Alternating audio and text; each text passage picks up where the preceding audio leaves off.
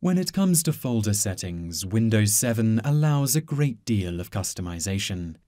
This can make the whole system easier to use and this tutorial will show you how to change these settings.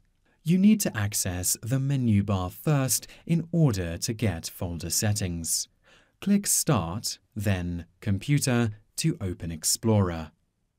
Click on the Organize button in the left. Navigate to Layout and click Menu Bar. This will add a new bar to the top of the screen that reads File, Edit, etc. On this new bar, click the Tools heading, and then click on Folder Options. This will open a window that will allow you to change general settings for all folders in the first tab.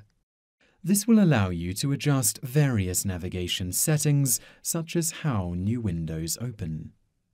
The second tab View allows you to change the appearance of this folder, such as selecting what type of files you want to be able to view, or whether you want to view drive letters.